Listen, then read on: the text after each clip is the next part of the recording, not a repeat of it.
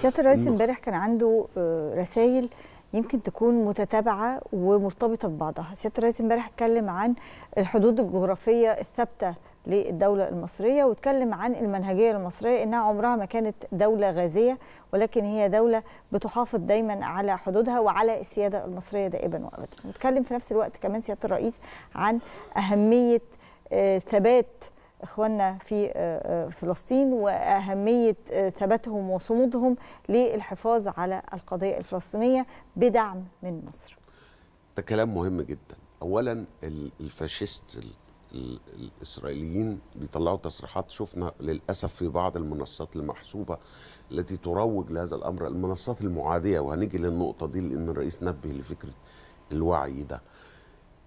المنصات اللي بتروج الرؤية الإسرائيلية اللي هو ما الفلسطينيين يروحوا مصر يروحوا غزة. الضغط على الفلسطينيين من الضفة يروحوا الأردن والحقيقة مصر والأردن من الدول المهتمة جدا والملاصقة واللي بتتحمل مسؤولية حقيقية والمستهدفتان بالشائعات الحقيقة والعدوان وغير الكلام. فمنصات بتروج هذه الرؤية الفاشية العنصرية اللي بتقوم على التصفية والرئيس كان واضح جدا في هذا الأمر. الحقيقة مش أول مرة إنه أي ممحكات أو حلول أو ادعاءات لتصفية القتال الفلسطيني مرفوضة. اولا الفلسطينيين أكثر ناس بيرفضوها على مدى أكثر من 70 سنة رفضوها وفشل الاحتلال في إنه يصفي القضية الفلسطينيه وإنه ما يتم الحديث عنه. هذه خطط قديمة بالمناسبة هي مخططات بقى لها سنين. صحيح. ونضغط عليهم فيروحوا غزة أو يروحوا الأردن ونصفي القضية. مش هيحصل. ومصر واضحة جدا في هذا الأمر وأظن زي ما أنا قلت في البداية المكان اللي انطلقت منه التصريحات واضح جدا إنه مصر بتمتلك قوة وعندنا تجربة بنحتفل 50 سنة أظن إنه باعتراف جولدا مائير وباعتراف قيادات إسرائيل انه الهزيمة القوية جدا لجيش الدفاع الاسرائيلي فدي نقطة محسومة ويمكن أن تتكرر. أظن ده ما حدش بيدعو طبعا للحرب بالعكس الرئيس من هذا المكان ومن استعراض هذه القوة الشاملة للدولة المصرية بيقول إحنا السلام لأن إحنا اللي حاربنا وانتصرنا وعارفين السلام. هذه نقطة مهمة. النقطة الثانية والضرورية جدا في هذا الأمر هو إنه يجب وقف هذا العدوان بسرعة لأنه في دمار شامل وإنه مصر بقوتها وبالثقة الإقليمية والدولية بالاتصالات وغيره من المهم إن هو تستخدم قوتها لإنه تتواصل مع كافة الأطراف لوقف هذا الحرب. دي نقطة مهمة قوي لأنه الرئيس بتكلم على بنتكلم على القوات المسلحه وقوه رشيدة تحمي ولا تهدد عندنا مثالين. عندنا الخطوط الحمراء في الغرب اللي حددها القوات المسلحة حددتها مصر وتم تطبيقها وتراجعت ونفس هذه القوة التي أغاثت الأشقاء في ليبيا. حاملة الطائرات راحت بعد الإعصار وقدمت كل المساعدات. أظن ده واضح. واضح أن هذه القوة قوة عربية حقيقية وده برضو نقطة مهمة. دايما الرئيس يتحدث على إنه في قمة جدة الأخيرة قال إن إحنا لا يجب أن نترك أنفسنا نهبا لتدخلات خارجية ولا لازم يكون في موقف عربي. صحيح.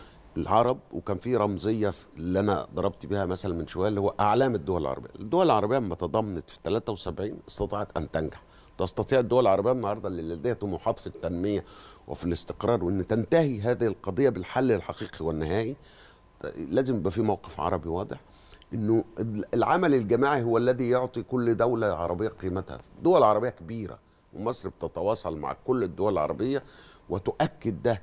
وإنه لازم يبقى في موقف من الجامعة العربية ومن القمة العربية. النهارده في مصر في الامارات العربية المتحدة في المملكة العربية السعودية في دول المغرب العربي في آه يمكن ده ده رمزيه العراق في الأردن وكل هذه الدول الحقيقة موقفها واضحة في هذا الأمر.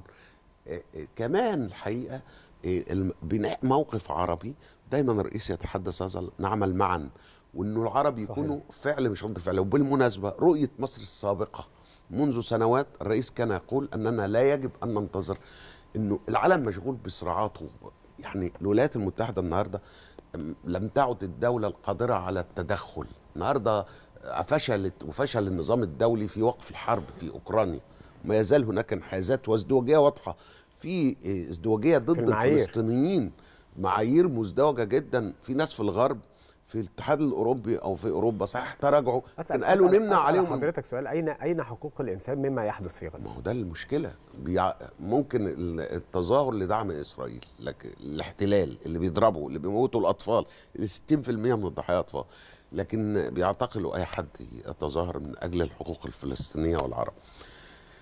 فالنقطة دي الاتحاد الأوروبي أوروبا موقفها عائم جدا وموقفها أولا هم نفسهم اللي برضو مشوا ورا الولايات المتحدة في هذه الحرب وبايدن بيقود العالم إلى حرب أخرى والصدام فيه عجز واضح جدا. نفس الأمر في حاملة طائرات تروح أنت رايح تضرب ناس أصلا هم بيتم تصفيتهم بشكل عنصري والاحتلال مهما كان الخلاف في هذا الأمر. لكن خلينا نقول نرجع لمصر تاني. الرئيس اما في يوليو اللي فات أما استضافنا جلسات كثيرة جدا على مدى السنوات للمصالحة الفلسطينية. خلينا. نقول إنه ربما تكون ميزة. إنه هذا الاحتلال العنصري الذي توحد ونتنياهو دعا المعارضين إلى إنهم يلتموا. طب أنت النهارده في خطر. هل يجب الاستماع إلى صوت مصر وصوت العقل صحيح. في المصالحة. بين الفصائل؟ وكان في تصريحات الحقيقة ايجابيه من الفصائل في يوليو اللي فات. دي نقطة في غاية الأهمية. يعني إحنا بنتكلم رؤى مصر ورؤى الرئيس عبد الفتاح السيسي على مدى السنوات اللي فاتت كلها كانت تتوقع هذا الأمر وتتوقع الانفجار. وتحذر منه نعم